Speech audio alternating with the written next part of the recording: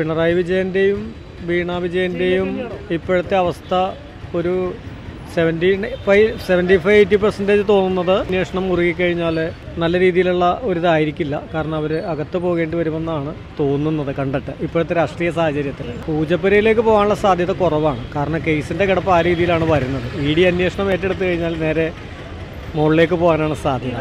തീഹാറിലേക്ക് തന്നെ പോകാനായിരിക്കും സാധ്യത. രണ്ടുപേരും ജയിലിലേക്ക് തന്നെയാണ് അവരുടെ യാത്ര.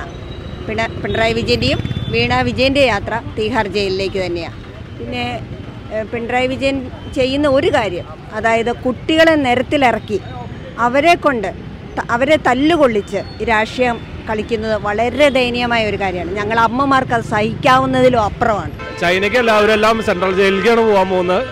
ചുരുങ്ങി വന്നാൽ ഒരു രണ്ടോ മൂന്നോ മാസത്തിനുള്ളിൽ തന്നെ ഇതിനുള്ള തീരുമാനമാവും. മിക്കവാറും പൂജപ്പുര തന്നെയായിരിക്കും. അവരുടെ ആ പാർട്ടി സഹാക്കൾക്കൊക്കെ കാണണമെങ്കിൽ ഏറ്റവും അടുത്തത് തന്നെയാണല്ലോ കാരണം പൂജപ്പുര അല്ലെങ്കിൽ വിയ്യൂരുണ്ടാവും അതായത് പിന്നെ പിണറായി വിജയന്റെയും വീണയുടെയും പോക്ക് തെറ്റായ രീതിയിലായിട്ട് അവർ ജയിലിൽ പോകാൻ സാധ്യതയുണ്ട്. കാരണം കോടതി ഇപ്പം നീട്ടി നീട്ടി കൊണ്ടുപോകണം പൈസ കൊടുത്തിട്ടുണ്ടാവും. ജഡ്ജിക്കും മറ്റുള്ള വക്കീലന്മാർക്കും. അല്ലാതെ അങ്ങനെ നീണ്ടുപോകേണ്ട ആവശ്യമില്ല. എത്രയും വേഗം അവരെ അകത്താക്കണമെന്നാണ് എന്റെ അഭിപ്രായം. ഏതായാലും ജയിലിലേക്ക് പോകുന്നുള്ള പ്രതീക്ഷയിൽ തന്നെ നിൽക്കുന്നു.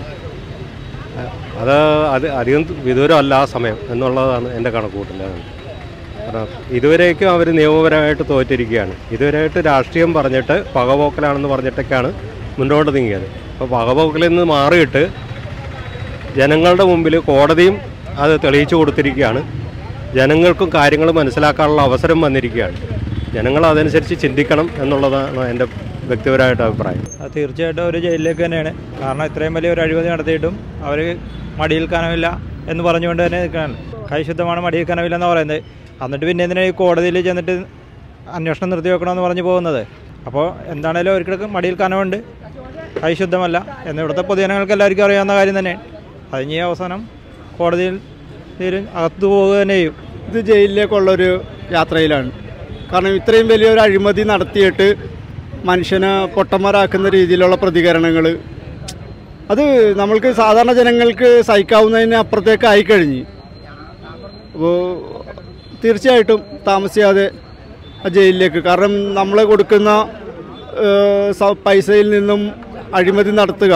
എന്നിട്ട് എന്റെ കൈകൾ ശുദ്ധമാണ് എന്ന് പറയുന്ന ഒരു അത് നമ്മളെ അവഹേളിക്കുന്നതിന് തുല്യമാണ്.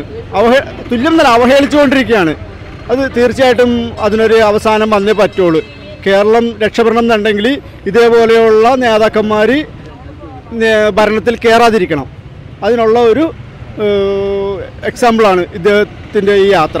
പിണറായി വിജയൻ തന്നെ പറഞ്ഞിരിക്കുന്ന കാര്യമാണല്ലോ ഉപ്പുകൾ തിന്നവൻ വെള്ളം കുടിക്കുമെന്ന്.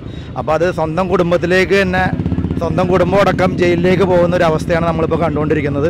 ഇതിനൊരു ഒത്താശ ചെയ്തു കൊടുക്കുന്ന ഒരു പ്രതിപക്ഷ നേതാവും അതും കൂടി നമ്മൾ കാണുമ്പോൾ മനസ്സിലാക്കുന്നത് കേരളം കുട്ടിച്ചോറാക്കാൻ ഈ ഭരണ പ്രതിപക്ഷ രണ്ടുപേരും കൂടി ചേർന്നുകൊണ്ട് നടത്തുന്ന ഒരു സഹകരണ മുന്നണിയായിട്ടാണ് പിണറായി വിജയന്റെ വീണയുടെ അവസ്ഥ അകത്ത് പോകുന്നുള്ളത് തന്നെയാണ് എന്റെ അഭിപ്രായത്തിൽ രണ്ടുപേരും.